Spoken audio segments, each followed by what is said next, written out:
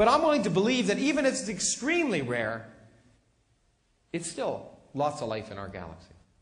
Okay? But as I say, the problem is, will we ever know about it? And that's not so clear. Because, you know, I just want to give you an example of the problem. Let's say you're, you're on this star here, and someone tells you to look right there at that sun and look at the third rock from that sun. Okay? You'll find life. Well, even then, you'd have a very small probability of finding life on Earth. Because our sun is four and a half billion years old. Most of the stars in our galaxy are far older. So you could have been an intelligent civilization watching the Earth from the time it formed to today, four and a half billion years later. But only during the last 50 years have we been emitting signals which, in principle, could give evidence that there's intelligent life. I mean, I Love Lucy, Star Trek, etc. And so, if you think about that, even if you knew exactly where to look and what channel to listen to, You'd only have a, a 1 in 50 million chance of finding life on Earth, even if you knew exactly where to look and what to listen to. We don't know where to look or what to listen to.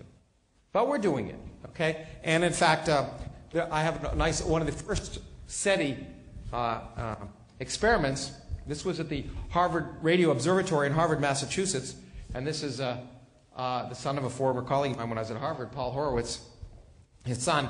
And this was used by Paul and his colleague Carl Sagan to launch one of the first SETI experiments. This was um, designed, it was going to run for five years to listen for the signal of extraterrestrials.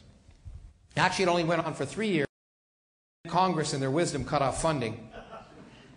But then Steven Spielberg, who's richer than the U.S. government, uh, uh, uh, funded it. And it, it, went on for five years. And, and, and they went on for five years and they listened for extraterrestrials. Now, what would they listen for? Well, of course, the answer to everything's in Star Trek. So let's go to Star Trek and see. We want to just look at that for a while? That's pretty fun. Okay. There he goes. He's shot pies, too.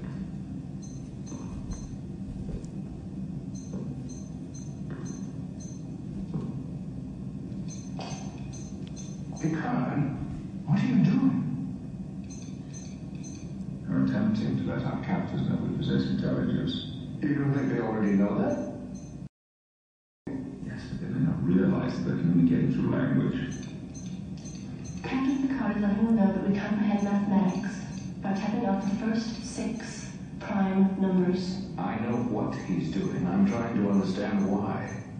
Okay, so are we. Now, um, in this case, uh, the, the writer's cribbed, in this case, from some very famous astrophysicists who said, look, if you want to listen for a signal for extraterrestrials, listen for prime numbers. And that's what Jodie Foster listened to in Contact.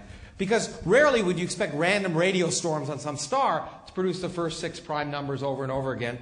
And, um, and so, but, but they couldn't do that. Um, at the time uh, when this ex- original experiment was created, um, uh, Paul and, and Carl couldn't do that. And uh, because they didn't have the computer power. Let's go back here. They developed, and the problem is, remember, you want to listen for a signal, but you don't know what channel to listen to. So they developed a device that would listen to a million different frequencies at the same time. Okay, and it doesn't look very fancy now. But it was.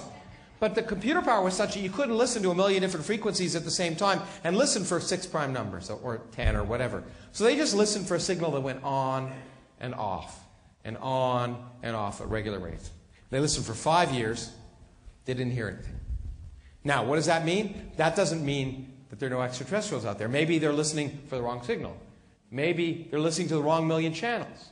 Maybe the signal is weaker than this uh, antenna could have detected. There are lots of possibilities. So they built, actually, in this experiment, they built a better detector, or as they call it Boston, a beta detector. Um, there it is, B E T A. Um, that, that, that stands for billion channel extraterrestrial assay. And this can listen to a billion different frequencies at the same time, a thousand times more. And, and experiments like this, or more sophisticated ones that are now going on, are the way, I'm convinced, if we're ever going to know about extraterrestrial life, it won't be by traveling through spacecraft at the speed of light or warp drive and going around the galaxy in, in starships. It's going to be listening for these signals. And maybe we'll hear them one day. Now, it may depress you to think that that's the way we're going to discover life elsewhere by sitting here and listening instead of going out. But again, I want to, you know, Star Trek has that theme too. I want to show you so you won't feel so depressed.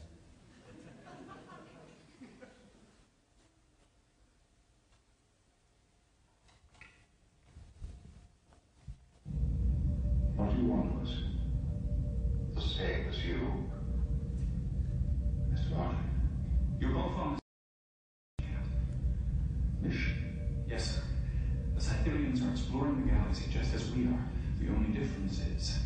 They never leave their home. They bring others here. Their only wish, an exchange of knowledge. They want to know us. So now, in this episode, which I love this episode because in this episode, Lieutenant Barclay gets intelligent for one hour, and it's really kind of neat. But, uh, but anyway, uh, in this episode, the Cytherians, um, you know, they're a race that, that learns about the universe by bringing everyone to them and not traveling around. Now, that's exactly what we're doing with our radio telescopes and the Hubble Space Telescope and our particle accelerators. First moments of the Big Bang and learn about the universe out to the farthest reaches of the visible universe, billions of light years away, without ever leaving our home. Now, that would be a wonderful way to end this lecture, which is why I won't end the lecture that way.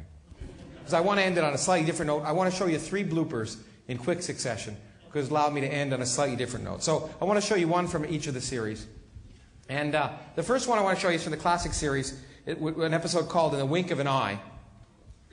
And um, in this episode, there's this, this race um, that, ha- that they have a very fast metabolic. They move so fast you can't even see them. Okay? And they have this queen, Queen Deela, and she needs a mate. So who does she choose? James T. Kirk, of course. And they give him a little water from their, say and he speeds up to their rate. And in this episode, actually, they did mate. They got to pass the centers like they did a lot of. stuff. But before they mate, he tries to kill her.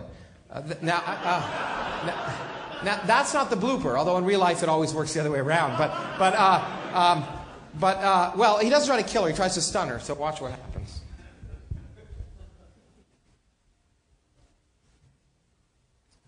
Maybe watch what happens.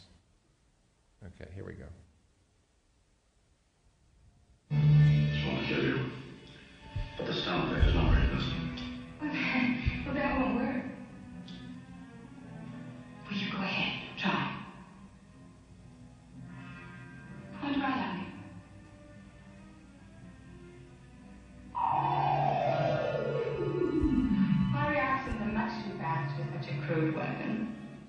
Okay, what's wrong with that picture?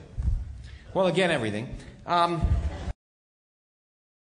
it's, it's really simple. Okay, so he's, um, he's trying to shoot her, and he's shooting with a phaser beam, which is a directed energy weapon, which means this beam travels at the speed of light.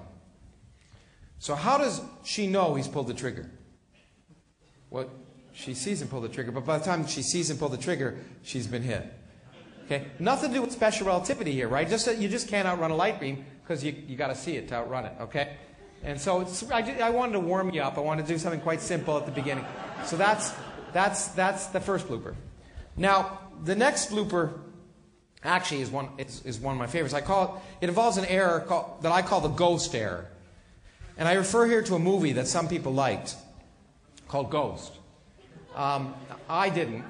Um, uh, I didn't because it was stupid. And, uh, and, and, and here's the reason it's stupid. You know, I don't know if you've seen the movie, but it involves this young couple, and the guy dies, a ghost, and he wants to prove to her that he's around, and, and he tries to embrace her, but his hands go right through her. You know, he tries to pick up a penny, but he can't even pick up the penny.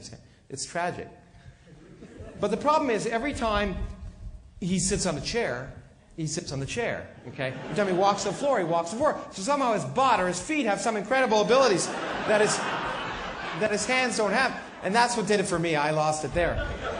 Now, that, that, um, that error happens a lot. It happens in Star Trek. This is an episode from the Next Generation called Out of Phase, in which Geordi and Ro get, get put out of phase with normal matter and they can walk through walls and stuff. So let's watch a little bit of it.